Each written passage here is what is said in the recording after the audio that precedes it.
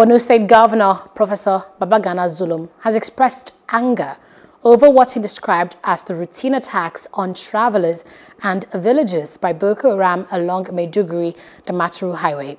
The governor, who visited Jakana, one of the major towns along Maiduguri, Damaturu Highway, fought the army for Friday's abduction of over 30 travelers. Zulum said it was disappointing that the majority of the attacks within the last two years took place between Auno and Jakana, a distance of about 20 kilometers. Hello, hope you enjoyed the news. Please do subscribe to our YouTube channel and don't forget to hit the notification button so you get notified about fresh news updates.